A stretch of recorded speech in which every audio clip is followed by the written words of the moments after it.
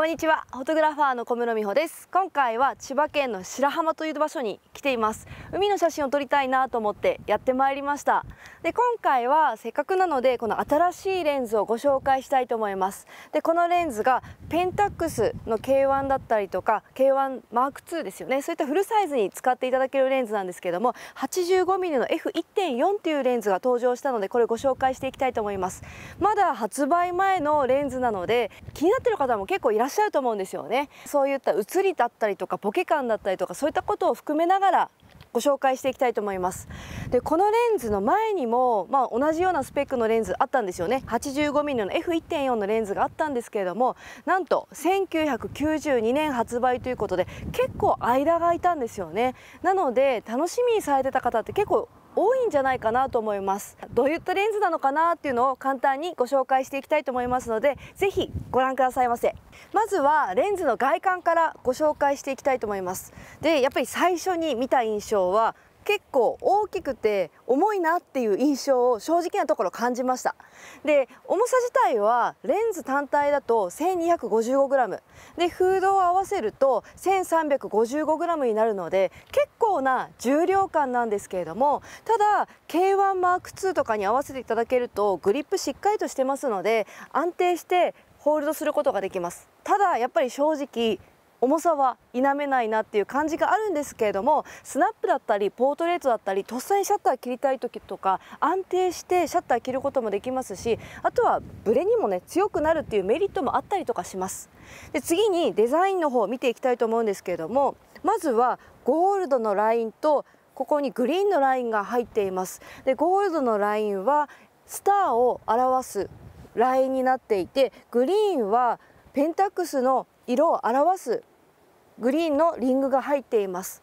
なので見ていただくと結構ね高級感のあるデザインになっています。あとすごいなと思ったのがフードこれつけてる状態なんですけども滑らかな曲線を描いていて意外とね一体感があるんですね。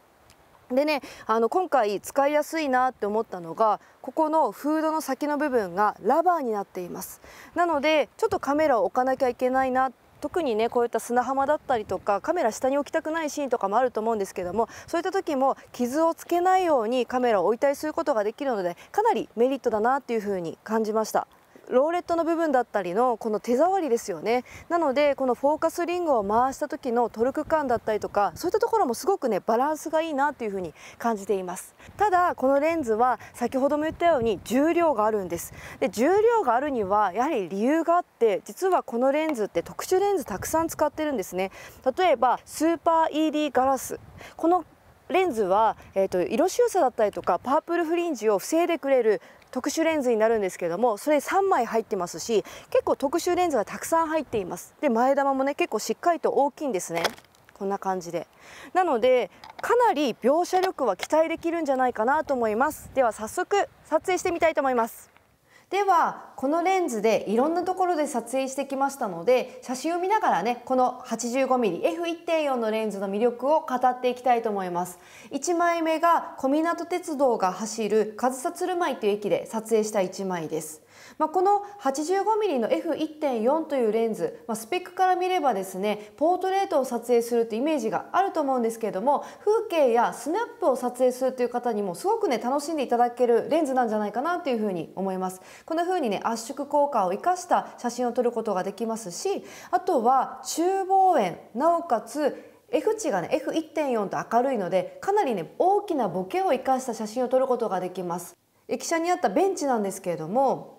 何気ないワンシーンも大きなボケを生かして撮影することによってなんかこう風情のあるドラマチックな一枚に仕上げることができます。こういったねボケのある写真を撮ることができるっていうのがねやはり単焦点レンズのメリットだと思います。でこのレンズはねスターレンズなのであの描写力だったりとかボケ感どれぐらい美しいのかなっていうところ気になってる方も多いと思いますのでまずはそういった点をご紹介していきます。まずはボケの美しさはこの写真で見ていただこうかなと思うんですけれども葉っぱにピント合わせて背景大きくぼかしています。で F 値は F1.4 で撮影しています。でここで見ていただきたいのが丸ボケの美しさなんですよ。背景がほんととろけるように美しくぼかしてくれてなおかつこの丸ボケもねすごく素直なんですね。背景がごちゃごちゃっとすることもなく被写体がぐっと引き立つ一枚に仕上がっています。なので、まあ、ポートレートで言えば人物の表情をしっかりと際立てて背景は美しくぼかす。そういったポートレートを楽しんでいただけるレンズなんじゃないかなというふうに感じます。この写真ではボケのつながりっていうのを見ていただこうかなと思うんですけれどもまあ右側に行けば行くほど大きなボケへと変わっていくんですがピント面がこの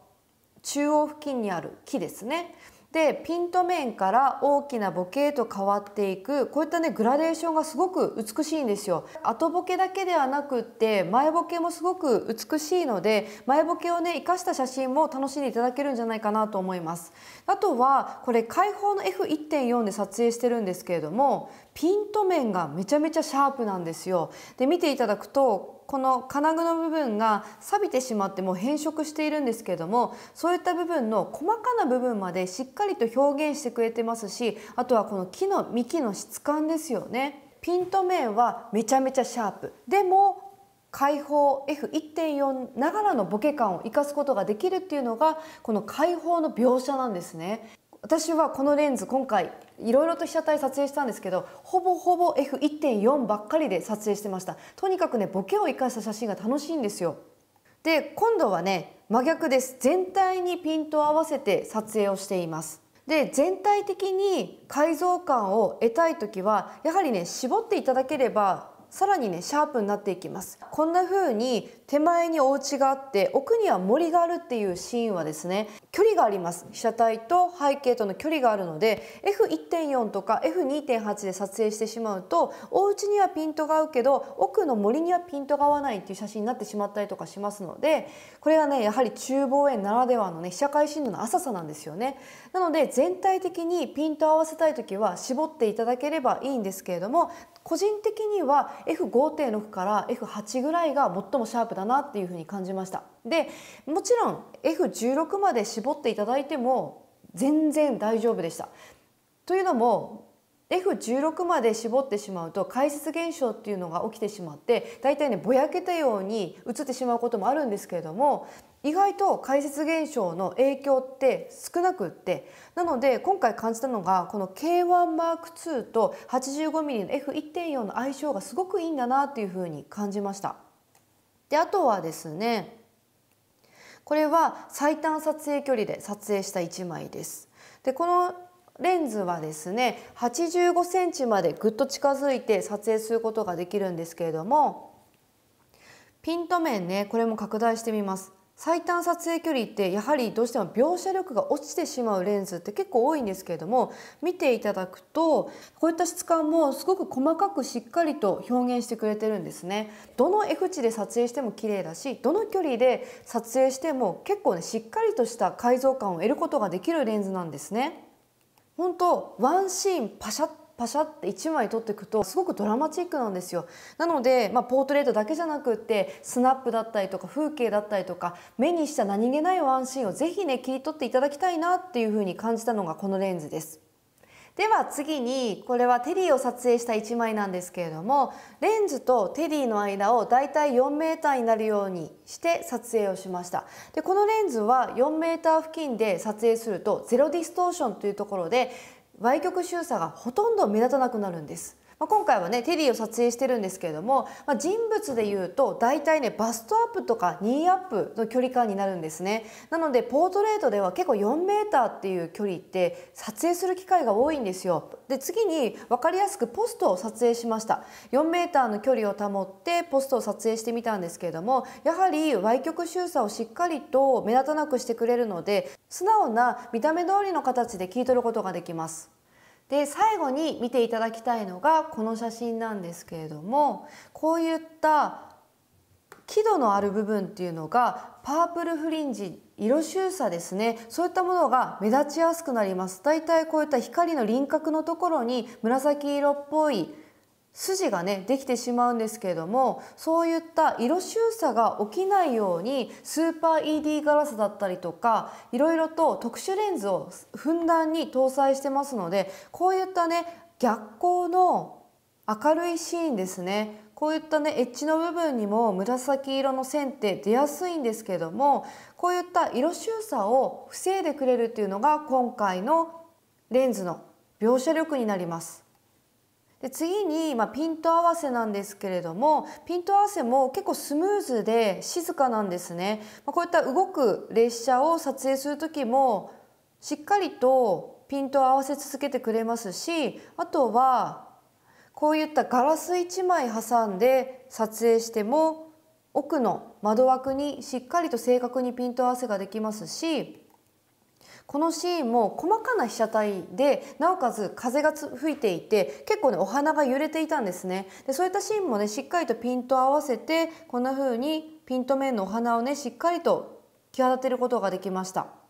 なので、まあ、今回ねいろいろと撮影してみたんですけれどもポートレートを撮影するっていうだけではなくってスナップだったりとか風景にもぜひ使っていただきたいレンズだなというふうに感じます。今回はレンズの描写力っていうのをメインでご紹介させていただいたんですけれども中望遠のスナップって本当に楽しいんですよ。で中望遠の特性を生かせばいろんなね撮り方ができるんですね。で特性としてはまずは映る範囲が標準レンズに比べてぐっと狭くなります。で次に圧縮効果を生かした写真を撮ることができてあとはボケ感を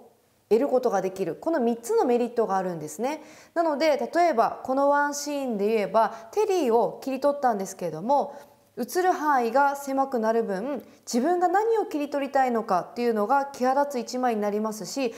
景も映り込む範囲が狭くなります。なので、えーと、背景を整理してテディとこの芝生だけにまとめてで奥にはちょっと街並みが映ってるっていう構図を取りました。こんな風に厨房へのスナップっていうのは自分が何を取りたいのかっていうのがより際立ちやすくなるので是非試していただきたいと思います。あとはこのトタンでできた建物がすごく素敵だなと思って1枚撮ろうかなと思ったんですけど奥にはこの青いビニールのなんかくるくるっとくるまれたものがあってこれが映ったら嫌だなって思ったんですけれども中望遠レンズであれば自分がどう撮りたいのかどう切り取りたいのかって考えて被写体を切り取る位置を見極めていただくとこんな風にこれは前ボケを生かしながら撮影したんですけれども奥のトタンの部分にねピントを合わせています。なので自分がどう切り取りたいのかっていうのを考えながら被写体との距離を決めながら撮影するとすごく楽しいレンズだと思います。でこれも小湊鉄道撮影した1枚なんですけれどもこのシーンは、まあ、鉄道だけ撮影するのは面白くないなと思ったのであえて右側に駅舎を入れながら撮影しました。で駅舎を入れてこんな風に向こう側に列車が走っていくんですけれども遠くに行くとカーブがあったんですねでこのカーブのところも一緒に切り取りたいなと思ってこの瞬間になるのを待ちましたで防衛になればなるほど圧縮効果っていうのを得ることができるので駅舎とちょっと遠くになった列車とっていうのを圧縮して聞い取ることができるので自分が入れたい情報っていうのを1枚の写真にぐっと凝縮することができるっていうのもこの望遠レンズの面白さだと思います。まあ、今回はスナップだったりとか風景っていうのをメインで撮影したんですけれどもポートレートを撮影するという方だけではなくってスナップだったりとか日常の風景も切り取りたいなっていう方でもすごくおすすめのレンズになりますので是非試してみていただければと思います。ではご視聴ありがとうございました。